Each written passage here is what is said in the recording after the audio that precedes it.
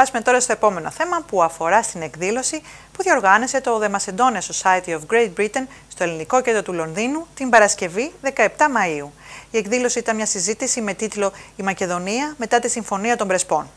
Η συζήτηση διεξήχθη από τρεις διακεκριμένου πανεπιστημιακούς καθηγητές. Τον κύριο Κωνσταντίνο Γρίβα, καθηγητή Γεωπολιτική στο Πανεπιστήμιο Αθηνών, τον James Pettifer, καθηγητή Ιστορίας στο Πανεπιστήμιο της Οξφόρδης και τον καθηγητή Πολιτικής και Διεθνών Σχέσεων του Πανεπιστήμιου East Anglia, κύριο Βασίλη Φούσκα. Την εκδήλωση παρακολούθησε πλήθος κόσμου στη μεγάλη αίθουσα του Ελληνικού Κέντρου, συμπεριλαμβανομένου και του Έλληνα πρέσβη στη Μεγάλη Βρετανία, κύριο Δημήτρη Καραμίτσου Τζιγρά. Η εκδήλωση άνοιξε με το καλωσόρισμα από τον κύριο Ανδρέα Πετρίδη, ο οποίος είναι πρόεδρος του Macedonia Society of Great Britain, και αμέσως μετά ο κύριος Αποστόλου παρουσίασε τα βιογραφικά των βασικών ομιλητών. Πρώτος στο βήμα ανέβηκε ο καθηγητής Βασίλειος Φούσκας. Α παρακολουθήσουμε τους τρεις ομιλητές με τη σειρά που τους αναφέραμε. Uh, members and friends of our society, good evening and welcome to our event tonight. Thank you very much for coming here. Um, this event is about Macedonia. Uh, we all know that the Prespas Agreement has been in our life now for about a year, and a lot has been uh, written about it, and a lot has been said about it. So today we have a panel of three excellent academics to analyze it from their own point of view and give us an assessment of where we are now and hopefully what we expect to happen uh, in the future. Uh, the purpose of this event was always to look at the future and not in the past. We all know what happened, but we want to see what is what we may expect from, from now on. Uh, before we introduce today's speakers, uh, let me quickly talk to you about our society, uh, as I usually do. Um, to, uh, this year is our 30th anniversary, which is uh, a great achievement for our society, being active and of, and creating uh, events like this for 30 years. And with your help, we would like to continue being here for a lot more than 30 years. So for those of you who are regular to our events and you're not our members, please uh, consider becoming a member. It's very important for us to increase our member base and have more members. Uh, we have two more events coming up this year. On the 18th of October, we organized an event with uh, Professor Meadows from the University of Oxford uh, about Alexander the Great, his coins, and their impact on the, on the world, not only on ancient times, but also more recently. Uh, also on, the, on December, in December this year, as we do every year, we have our Christmas ball. This is on the 14th of December. Uh, there are some invitations available on the reception desk if you want to pick up one on your way out, and if you want to come, we'll be happy to, to have you there. Uh, that's it for me. Thank you very much for listening. And Mr. Apostolou will now read the biographies of the three speakers. Thank you. Uh, good afternoon. Thanks for coming. I'll read uh, the biographies of each of our speakers today. Um, first, Konstantinos Grivas.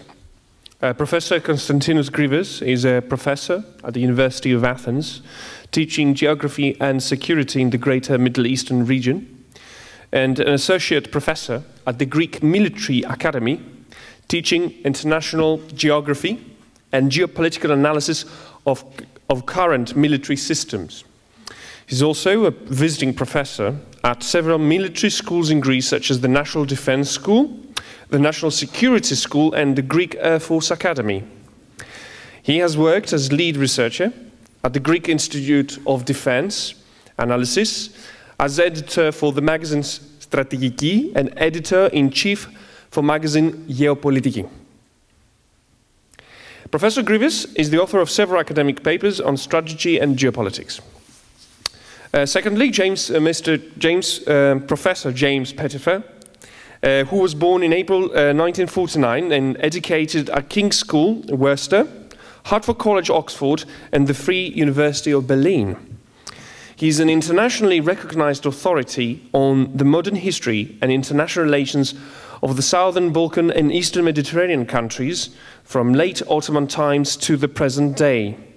He has held visiting professorships in Greece, Fyrom, and elsewhere, and was an honorary fellow of the University of Birmingham in the UK. He was a Seeger Research Fellow at Princeton University in the USA in 2007. For 10 years, he was a member of the Conflict Studies Research Unit at the Royal Military Academy, Sandhurst, in the UK. From 2010, he has been teaching Balkan history at St. Cross College, Oxford, and is a member of the Oxford University History faculty. He's the author of a number of standard works on the region, including The Greeks, Land and People Since the War, The Turkish Labyrinth, Albania, From Anarchy to Balkan Identity, with Miranda Vickers, Blue Guide Albania and Kosovo, Kosovo Express, and The New Macedonia Question as an editor, and many more. Pettifer is a regular reviewer of South Slav Journal, Times Literary Supplement, and other scholarly publications such as the Journal of Religious History, Canadian Historical Journal, and International Affairs. And last but not least, uh, Vasilis Fouskas, who is a professor of international relations at the University of East London, where he directs the Centre of the Study of States, Markets and People, also known as STAMP. He's the founding editor of the Journal of Balkan and Near Eastern Studies, published by Routledge, Taylor and Francis since 1998. His publications include The Disintegration of Euro-Atlanticism and New Authoritarianism with Bülent Gökay in 2019, Greece, Financialization of the EU and the EU with Kostas Dimoulas 2013, and Cyprus, The Post-Imperial Constitution with Alex Tackie 2009. His work has been translated into more than 10 languages. Uh, ladies and gentlemen, let's give an applause for our panel. Let's welcome Mr. Professor Fouskas to stand for the first speech. Thanks for the kind invitation. Uh, Mr. Apostol is very tall and taller than me, so I have to, to bend it a bit. Um, this is the, um, the second time um, in 20 years I'm invited in this venue to talk on the so-called Macedonian question. Um, and many things, I believe, have changed since. Uh, first of all, we were all much younger. Now we are 20 years older. Uh, I, I, can see many faces here. look, look. Um, okay, they, you look youthful. um, my um, and I, I intend to to um, talk about the um, to give you a broad brush of the uh, uh, of the uh, of the international relations of the Balkan of the Balkan region of the of the Macedonian issue as always because this is my area of expertise. Um, my main argument is that the agreement we've got um, is number one anti-Russian and number two anti-Chinese. Um, and uh, these are the two things uh, actually that have changed since 1999 or 2000 that I've talked, um, I, I, talked here. Now, I will also argue that the, um, the circumstances in which this agreement took place is very much connected to uh, uh Russia's successes in Syria and Crimea, whereas NATO's deter forward strategy appears to be the only strategy that cements the disintegrative tendencies within the uh, Euro-Atlantic bloc. However, I don't really know to what extent NATO can keep together if the United States go ahead and attack Iran as we, as we speak, and we know what the, you know, the, the troops are gathering around the, the Persian Gulf as we speak now.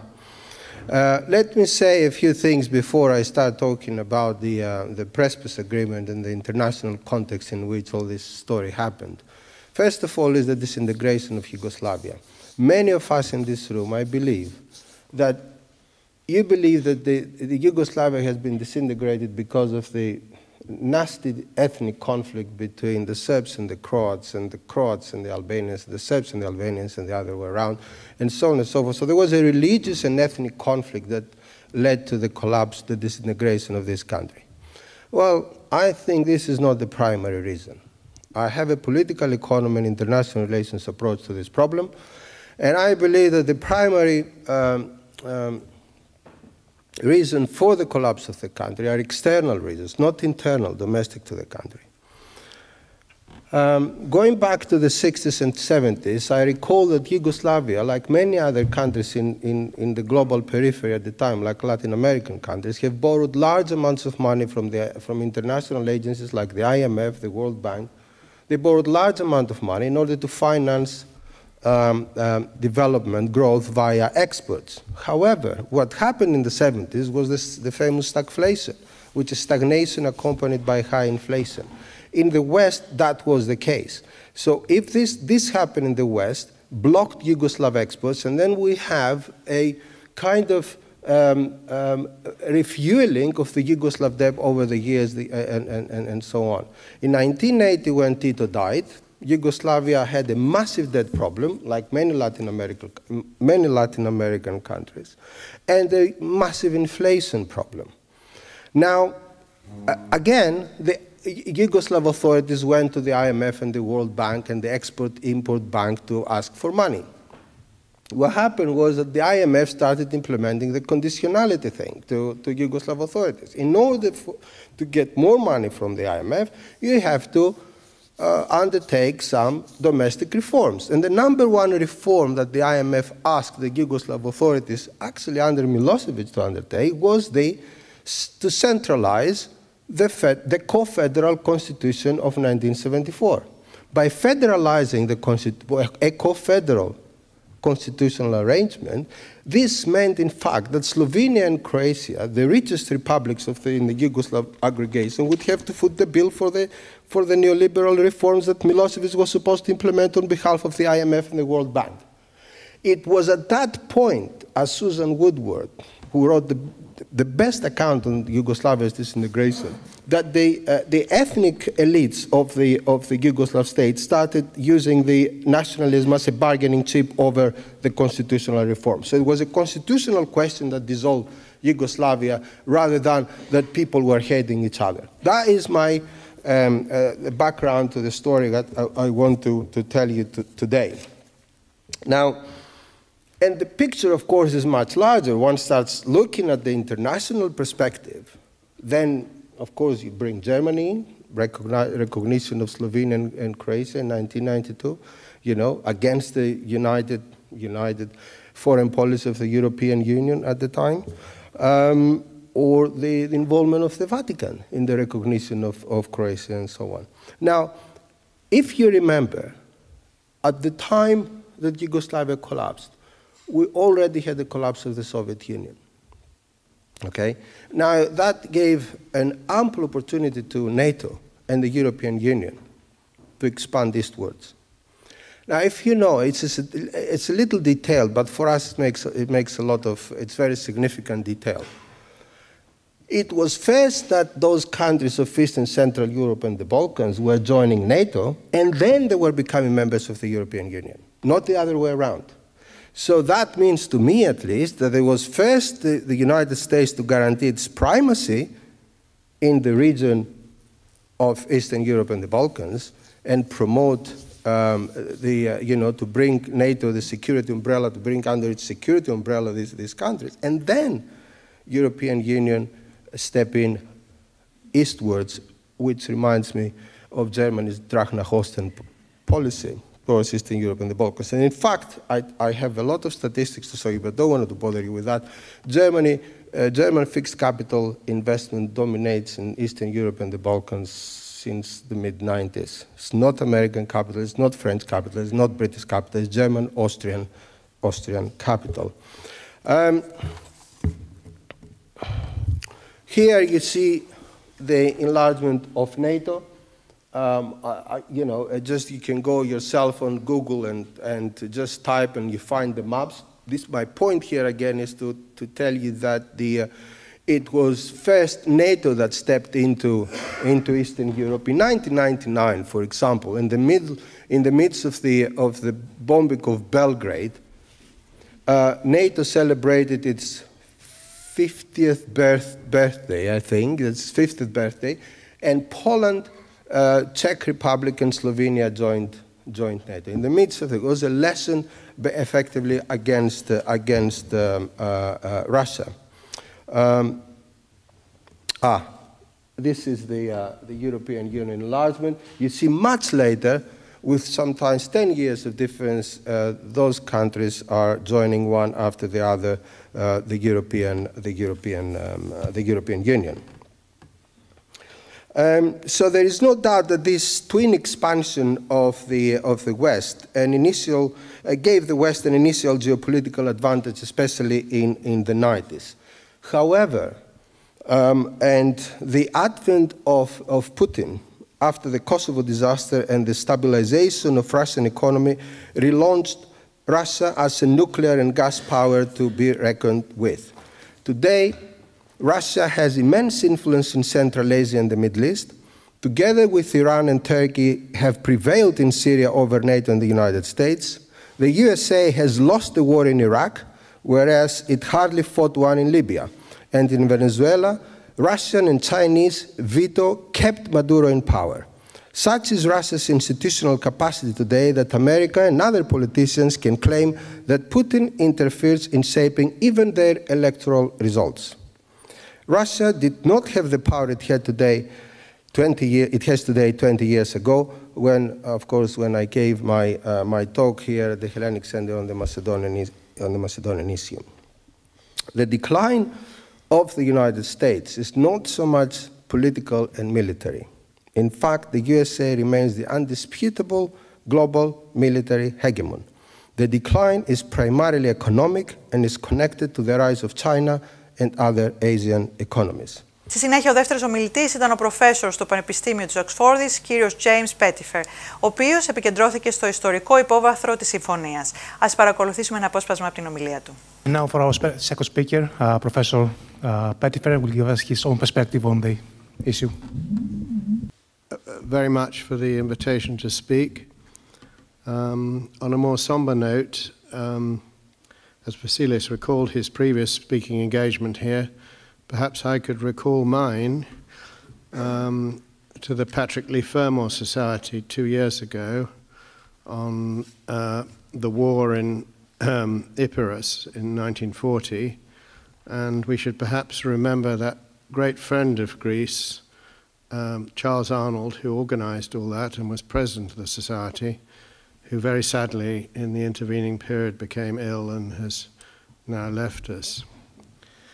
Um, I want to concentrate tonight on the basic realities of things because clearly the Prespa document is very complicated. Even people who know a lot about Macedonia found it hard to understand, and regional issues too.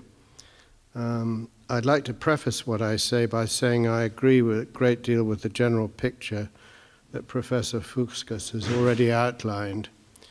Um, I was an opponent of the Prespa agreement because I thought, although it was obviously desirable to get a settlement between Skopje and Athens, it would bring regional instability. Uh, this meeting tonight is now more or less a year since the agreement was signed. And I think it gives us a very good opportunity to look and see what has been achieved uh, and what hasn't. And again, I'd like to thank the Macedonian Society very much for the chance to open up some of these issues. Um, what kind of regional instability did I have in mind? Well, I think the answer is very simple that um, the state in Skopje is recognized now by about 100 countries. Uh, and that was uh, done under its preferred name of the Republic of Macedonia. That is now gone into the dustbin of history.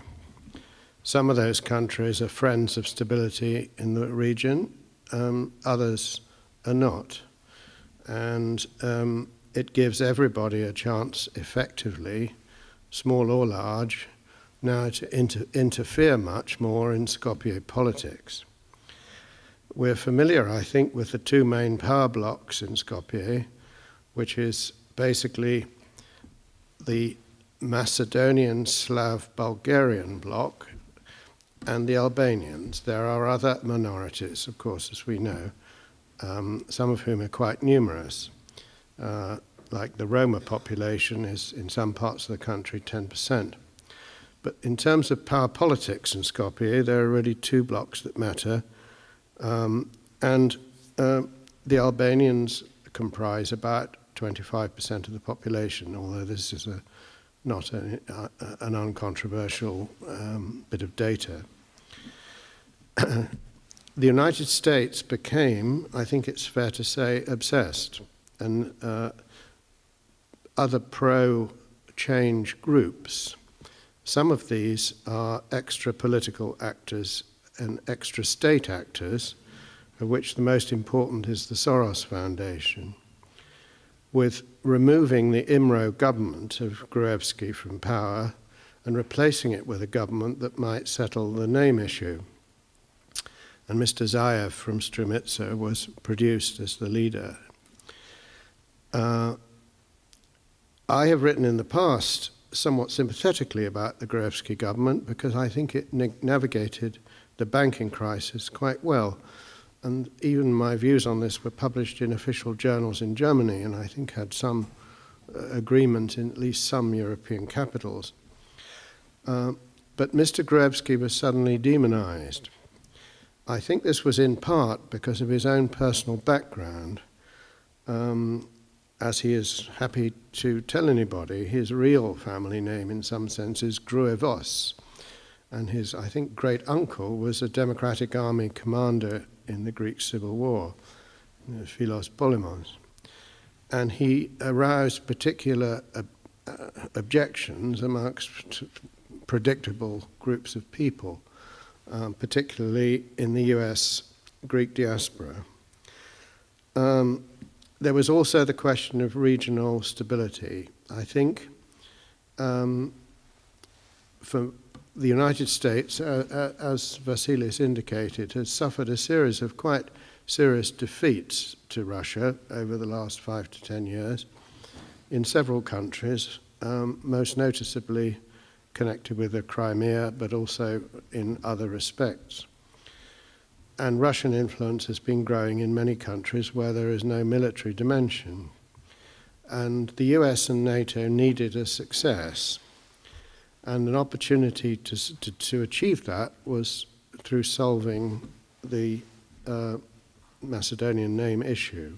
Τρίτος ομιλητής ήταν ο καθηγητής κ. Κωνσταντίνος Γρήβα από το Πανεπιστήμιο Αθηνών, ο οποίος μίλησε για τα γεωπολιτικά και στρατηγικά ζητήματα που επηρεάζουν την ευρύτερη περιοχή της Μεσογείου και τα επόμενα βήματα που πρέπει να κάνει η Ελλάδα για να τα αντιμετωπίσει. Α παρακολουθήσουμε ένα απόσπασμα από την ομιλία του. Good afternoon. I would like to, to thank the, thank the organizers for this uh, honorary invitation. Before starting, I would like to preemptively apologize for my lousy English. I envy Vasilis for his fluent English. Mine, it's not so fluent. However, a few years ago, I had to give a lecture in a NATO school at Oberammergau, Germany, and I was very anxious. So I expressed uh, my concerns about my linguistic skills to a friend of mine then a colonel, colonel of the Hellenic Army. And he told me, do not bother, because uh, bad English is the semi-official language of NATO. So, as we are going to tell a lot of things about NATO, we can consider this presentation a NATO standard uh, presentation. So, uh, a few months ago, Greece underwent a bloodless but nevertheless painful geopolitical disaster through the so-called Prespa agreement. And it's a disaster because this agreement threatens the very same existential core of the Greek geopolitical identity. It's a mine in our geopolitical foundation and the consequences, we will see them in the long run. However, this uh, agreement may also have some uh, side effects, some uh, indirect but very dangerous consequences, and this is exactly what we will discuss today.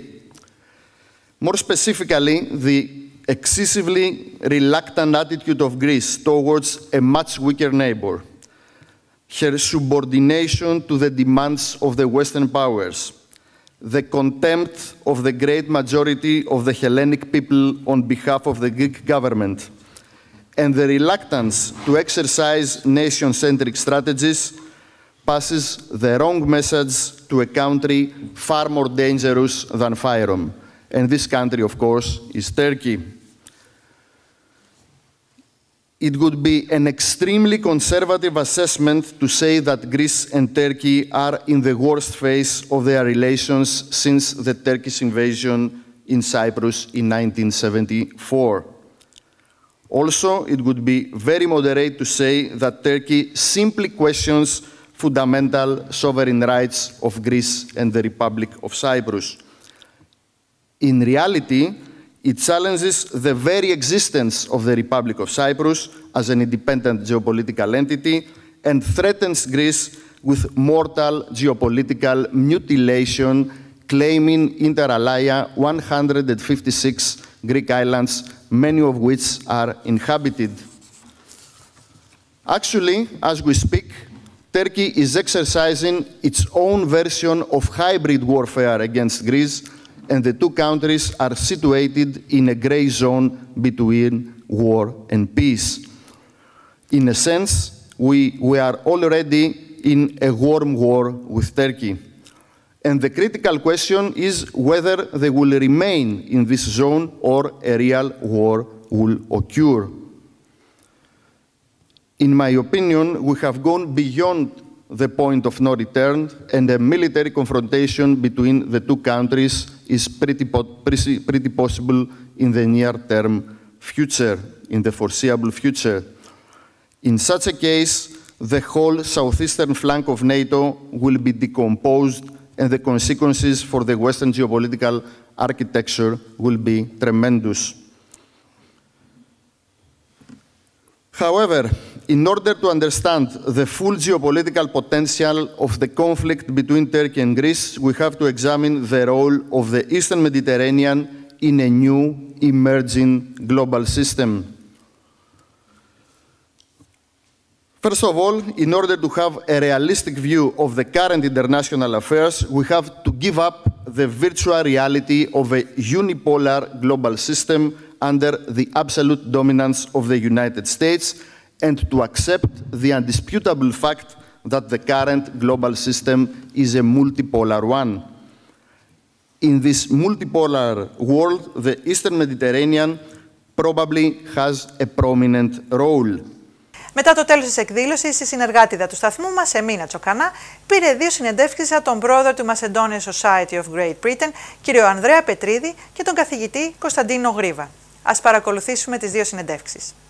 Κύριε Πετρίδη, ε, ως πρόεδρος της Ένωσης Μακεδόνων Μεγάλης Βρετανίας, θέλω να κάνετε ένα σχόλιο ε, για τη σημερινή εκδήλωση. Ποιος ήταν ο σκοπός; Η σημερινή εκδήλωση είχε σκοπό κυρίως να κάνουμε μια αποτίμηση της Συμφωνίας των Πρεσπών μετά από ένα χρόνο και να δούμε από μέσα από διαφορετικά πρίσματα από τρεις ομιλητές με διαφορετικό background ποια είναι η γνώμη τους και, τι, και τι θεωρούν ότι μπορεί να γίνει στο μέλλον. Και νομίζω το καταφέραμε αυτό. Είχαμε τρεις ενδιαφέρουσες ομιλίες από διαφορετική από πλευρά καθεμία, από ιστορική, οικονομική και γεωπολιτική. Και νομίζω μας έδωσαν μια, ένα πολύ καλό background το τι συμβαίνει και πού τι περιμένουμε για το μέλλον. Ε, πολύ ωραία. Πιστεύετε ότι ο κόσμος ανταποκρίθηκε θετικά στα όσα είπαν οι ομιλητές; Ε, νομίζω ναι, γιατί φάνηκε από τις ερωτήσεις που ήταν και πολλές και ενδιαφέρουσες. Καθώς επίσης και το αίθουσα γέμισε από κόσμο. Ε, είχαμε πολύ μεγάλο ενδιαφέρον για την εκδήλωση και είμαι πολύ ευχαριστημένος με το αποτέλεσμα. Ευχαριστούμε πάρα πολύ. Σας ευχόμαστε καλή συνέχεια. Να είστε καλά, ευχαριστώ. Καλησπέρα κύριε Γρήβα.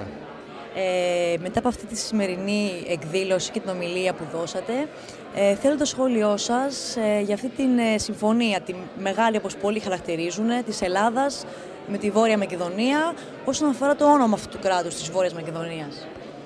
Κοιτάξτε, η διεκδίκηση από πλευράς των βορείων γειτόνων μας του ιστορικού παρελθόντος της ε, Μακεδονίας αποτελεί ιδρυτικό τους μύθο. Οπότε η συμφωνία αυτή, ακριβώς επειδή αποδέχεται από πλευράς της Ελλάδος την ύπαρξη μακεδονικής εθνότητος και μακεδονικής γλώσσας για τους βόρειους γείτονές μας, είναι μια, αποτελεί μια γεωπολιτική βόμβα στα θεμέλια του ίδιου, της, του, της ίδιας της, του ελληνικού έθνους, της ίδιας της αντίληψης που έχει η ίδια η Ελλάδα για τον εαυτό της. Ε, συνακόλουθα, οι όποιες δικλείδες ασφαλείας υπάρχουν στη Συμφωνία των Πρεσπών για την, όσον αφορά το παρελθόν, την ιστορική κληρονομιά της αρχαίας Μακεδονίας, είναι θέμα χρόνου να πάψουν να ισχύουν από τη στιγμή, επαναλαμβάνω, που ακριβώς η διεκδίκηση αυτή αποτελεί ζωτικό και κομβικό κομμάτι της ίδιας υπόστασης των, ε, των Σκοπίων, των βορείων γειτόνων μας. Σας ευχαριστούμε πάρα πολύ. Ευχόμαστε καλή συνέχεια. Ολόκληρες τις ομιλίες και των τριών ομιλητών θα σας τις παρουσιάσουμε προσεχώς στην εκπομπή με το φακό του Hellenic TV.